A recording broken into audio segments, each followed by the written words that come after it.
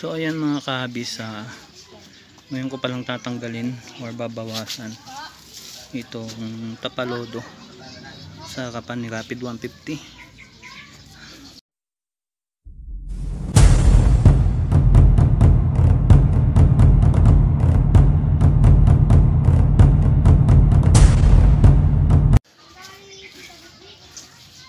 So ayan mga kahabis, ah, ngayon ko palang tatanggalin or babawasan itong tapalodo sa kapan ni Rapid 150 kasi medyo maalog-alog na. Naingayan ako. Ang may problema na to. Ayan.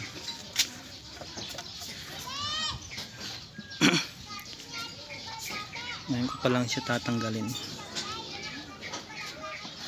Okay. Tingnan natin Yan ang update natin muli kay Rapid 150.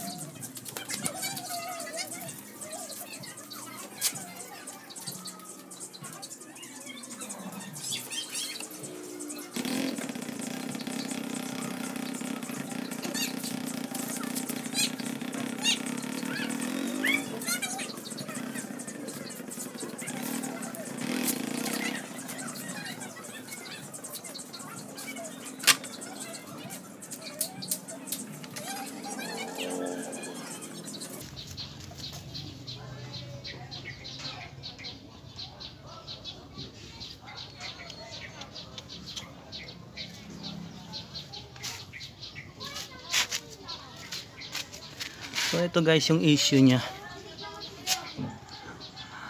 Wow. Ang issue niya is natanggal yung tornilyo. Tapos nabasag to. Ayan. So ayan mga kabis. Basag siya, nabasag.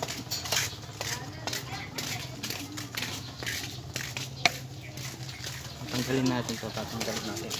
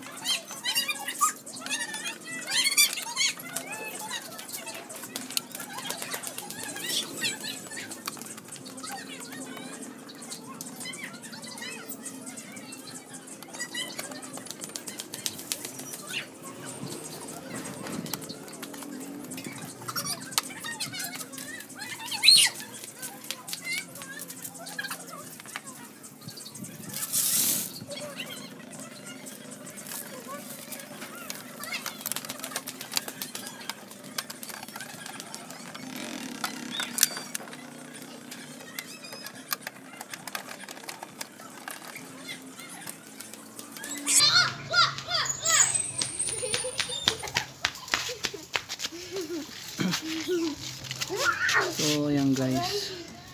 Ayan makikita yung basag. Ayan. Ito yung kabila niya yung naiwan. Ayan. So ididikit ko na lang siya.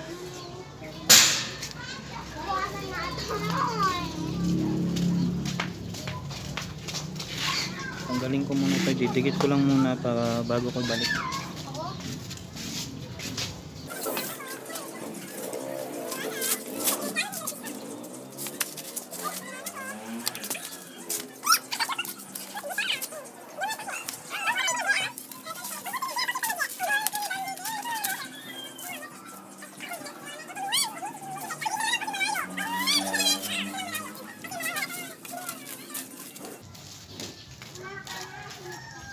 ayan guys.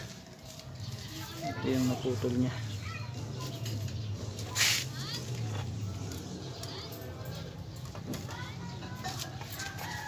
Ayan.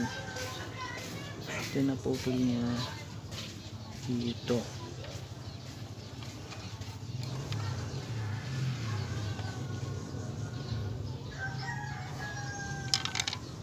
Yun.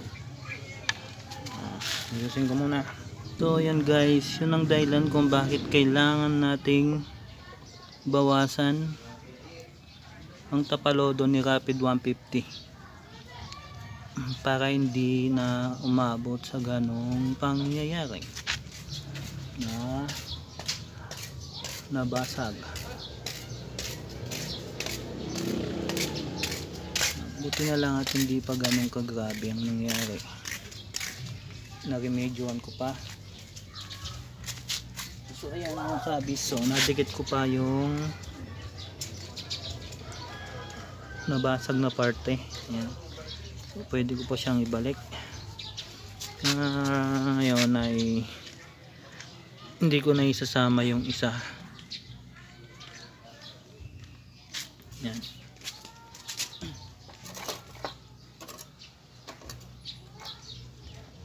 hindi ko na isasama to. Tatanggalin ko na dito pala. Dito pala yan. So, hindi ko na to isasama kasi ito ang dahilan kaya nabali to.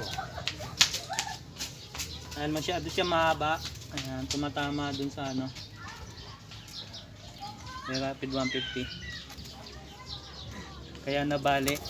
So kayo dyan na may mga rapid 150 na.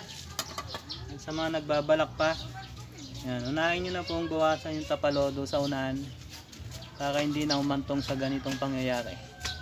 Ayan. Ito babawasan nyo lang naman. Para safe pa rin.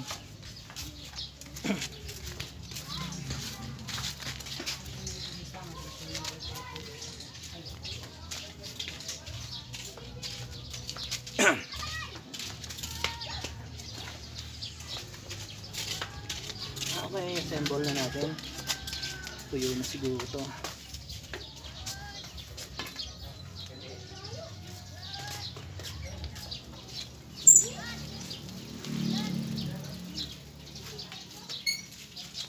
Medyo basa pa.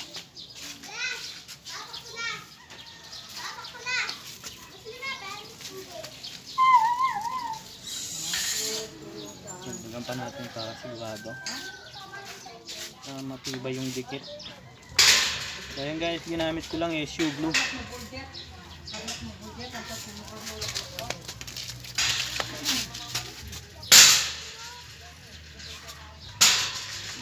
Madikit naman tong shoe glue.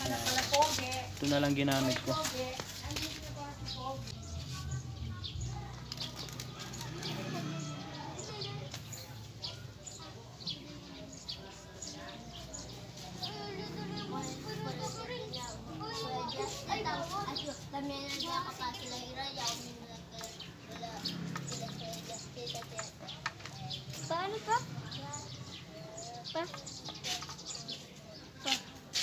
Paano?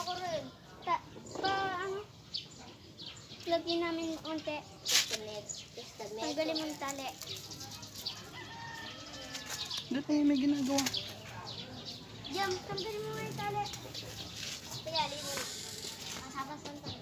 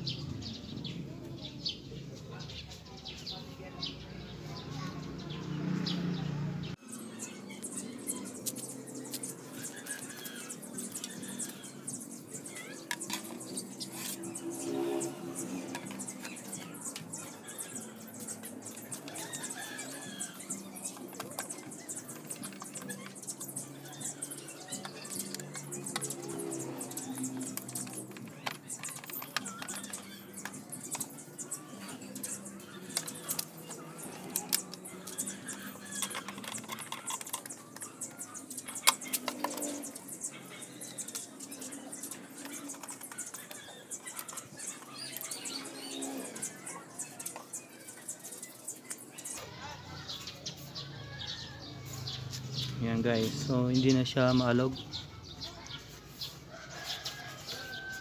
Gawan natin siya na paraan. Sinikit ko lang siya ng shoe glue.